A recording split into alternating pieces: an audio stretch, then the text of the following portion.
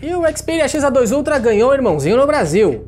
A Sony anunciou nessa segunda quinzena de maio a chegada do Xperia XA2, dispositivo bem menor que o modelo que já testamos o desempenho e em breve traremos o teste de bateria aqui no Tudo Celular. Olha a diferença no tamanho das caixas. E agora a gente vai tirar o aparelho aqui de dentro para comparar melhor. O XA2 é o smartphone que a Sony está vendendo com um fone de ouvido desses super auriculares e um cartão microSD de 32 GB.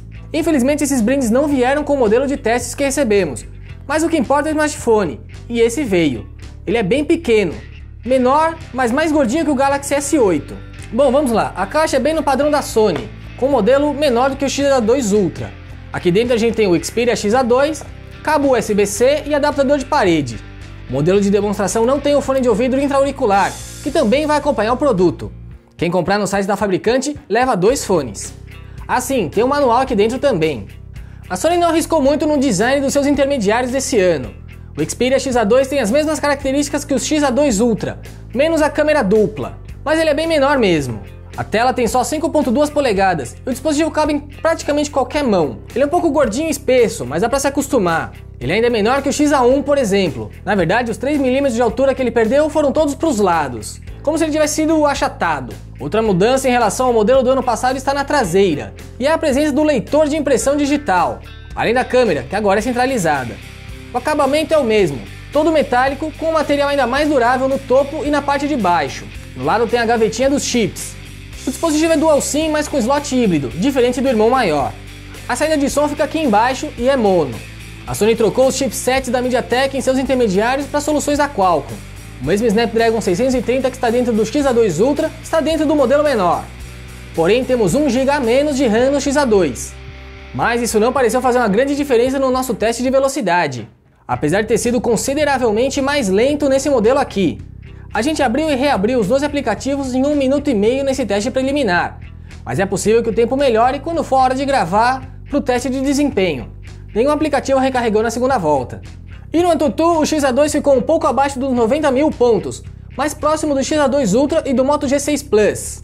Ainda vamos passar o teste completo com outras ferramentas de benchmark e os jogos. Então fica ligado aqui no nosso canal sem esquecer de dar o joinha aqui nesse vídeo. Em um teste prévio de câmera com algumas fotos tiradas no entardecer de um dia frio, deu para notar que a Sony mantém a boa qualidade das suas imagens.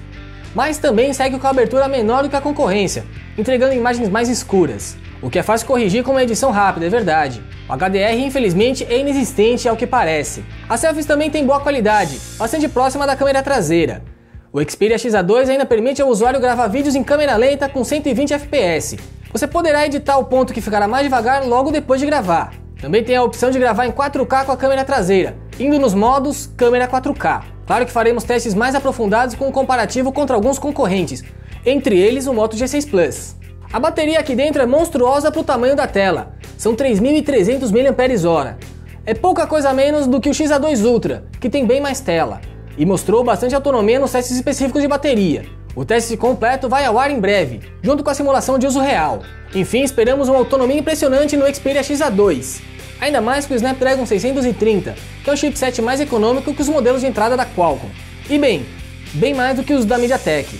Em software não há muito o que falar, a Sony não traz muita novidade nas linhas intermediárias, só vai incluindo o que já se mostrou eficiente nos modelos top de linha. Por curiosidade, temos o Android 8.0 Oreo aqui dentro, rodando sobre a interface Xperia UI.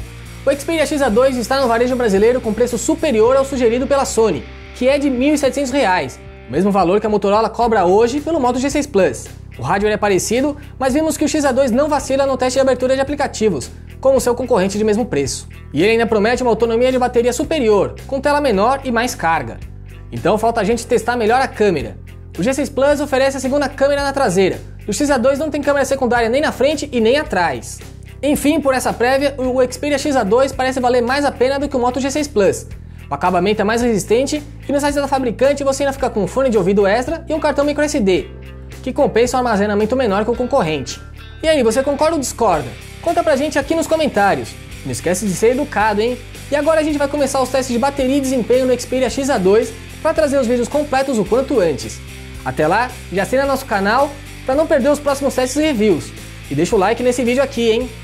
Eu sou o Felipe Junqueira e fico por aqui. Um abraço e até a próxima!